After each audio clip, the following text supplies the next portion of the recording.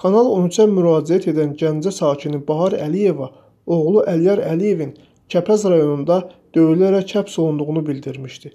Məsələ ilə əlaqədar olaraq Gəncə polisindən Kanal 13-ə açıqlama verilərək bildirilib ki, Bahar Əliyevanın dedikləri həqiqəti əks etdirmir. Daxili İşlər Nazirliyinin mətbuat xidmətinin Gəncə şəhərindəki regional qrupunun baş inspektoru polis baş leytenantı Eşqin Qasımov Kanal 13 internet televiziyasında yayımlanan Gəncə şəhər sakini Bahar Əliyevanın iddiaları həqiqətə uyğun deyil və böhtan xarakterlidir.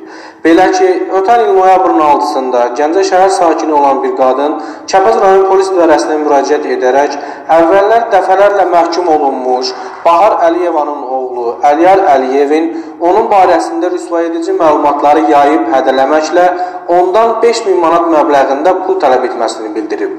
Müraciətlə bağlı dərhal həyata keçirilən əməliyyat axtarış tədbirləri zamanı Əliyar Əliyev şəhər ərazisində saxlanılmış, onun üzərində şəxsi axtarış zamanı polis əməkdaşlarının protokollaşdıraraq verdiyi 500 manat məbləğində pul aşkar edilərək götürülüb.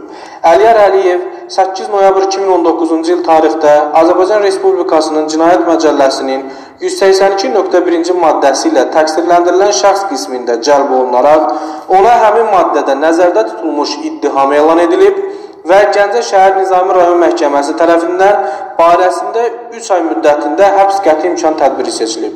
Bundan başqa iş üzrə zərər çəkmiş şəxs, təqsirləndirilən şəxs və şahidlər dindirilib, iş üçün sübut əhəmiyyətə malik səs yazıları protokollaşdırılaraq cinayət işinə əlavə edilib.